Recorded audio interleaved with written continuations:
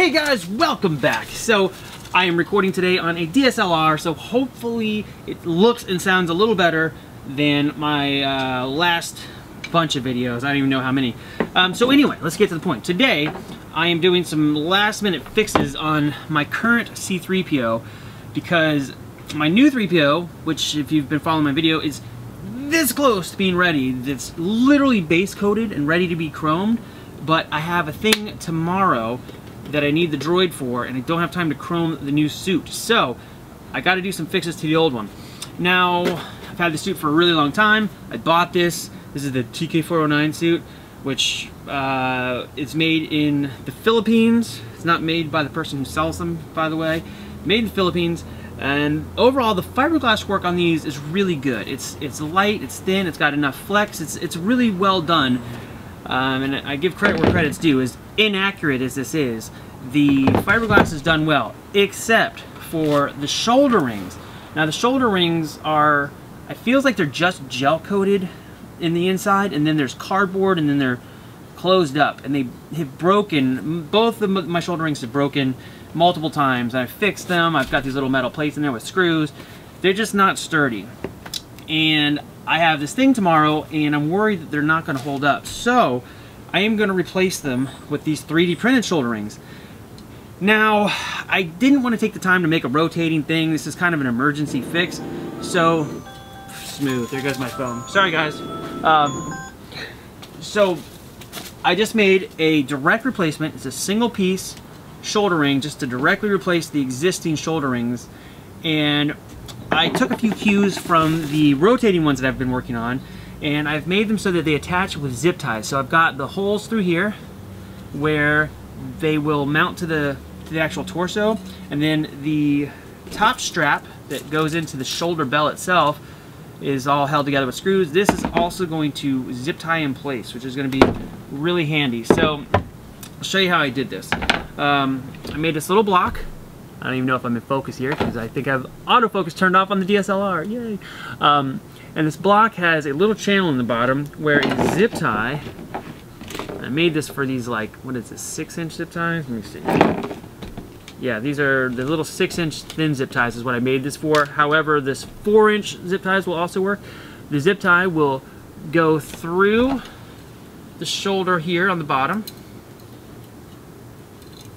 up through the top, and then through the little block.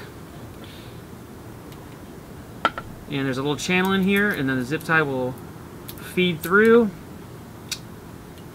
And then it goes back down through and there's a little cutaway on the inside here so that the uh, I don't know what you call this the buckle of the zip tie basically hides up inside this little notch. So once it's all uh, cinched up shut nothing sticks out there's no sharp edges and it's basically like an invisible connector which is really cool uh, I did the same thing for the sides here too so instead of the, the buckle. I'm to call it the buckle of the zip tie. So instead of the, the buckle of the zip tie sticking out on the inside of the suit like it does on my new one, which by the way doesn't affect wearing it at all. It looks like it would, but it doesn't. Um, this one loops all the way through and connects on the outside of the suit. So this is the shoulder ring like this, uh, the actual connector is on the outside and it sits in these divots. So I'm gonna go ahead and get this one installed. And you can see there's only connectors on half because this is intended to be set up how I set my suit up, where there's one shoulder ring on the front and uh, on the front of the torso and one shoulder ring connected to the back of the torso, which is how they did the movie suits. I think it's a, a really cool design, so I, I kind of want to keep that. Um, I'm going to line this up right now so that the shoulders are basically lined up where they're supposed to go. I'm just going to clamp it so it doesn't roll around too easily, if I can. And this is uh, not clamping it super tight. It's giving me enough so I can move this around just a little bit and then cinch it down so it doesn't slip on me. And I'm taking my little drill bit here and I'm going to just uh, drill some, some little starter holes into the fiberglass. And it's funny because the, uh, the existing holes are actually sort of close.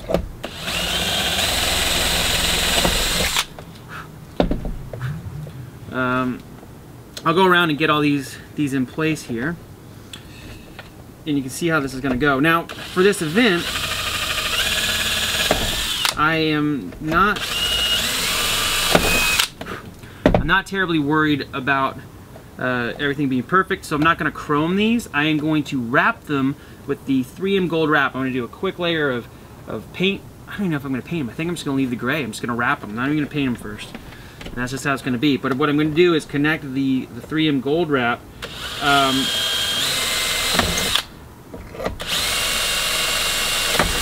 There we go. I'm going to connect the 3M Gold Wrap where the uh, the top connector goes through. So there we go. I've drilled new holes in the side of the suit. And I'll just do an example one here. I'm not going to do a permanent hookup just so you can see how this goes. So we have our, our uh, zip ties. These are a little small. They go through the outside here. And the same thing, I have a little extra size cut out there where the um, the buckle of the zip tie will go. And then this goes through the new hole I just drilled, back out through the, the back here. And this is a four inch zip tie. This would be easier with the six inch zip tie, which is what it's made for. Line it up. And push it through, and then the zip tie closes like so. And again, the buckle of zip tie sits down in that hole, all nice and clean, and you just snip off the excess. So I don't know if this is going to show up in camera. Hopefully it's not too blurry. It's right here, and then you snip off the excess, and now uh, once those are all in place, the shoulder is attached. And what I like about this is it's a stronger connection than the screws. It essentially, um, connection-wise, is like having eight screws instead of four, which I used to have. So that's going to be sturdier and they're easier to swap. If something breaks on the fly, I can throw a new zip tie in, I can print a couple extra of these and have them in my kit if I need it, uh, and it's going to be great. So anyway, I just thought I'd show those. I'm going to post these on Thingiverse probably today and get these up there for you. Uh, once this is done, I'll show the, uh, in another video, I'll show them up finished up so you can see them, but uh, they should work great, direct replacement. Now, one thing to note is if you look at them, they look wider. They're actually almost a millimeter narrower than the old ones, but because they're squared off, it kind of gives the impression that they're wider, uh, but they're not. So that's cool. I'll have some pictures of these things all finished up uh, soon. Maybe I'll get a little extra video to finish this out, but let's pretend I'm not going to. So uh, I'll be back soon. Thanks for stopping by. I will see you guys soon. God, what's with me saying the same words multiple times in same sentences? I don't know. Anyway, one take wonder. Yay, see you guys soon. Bye.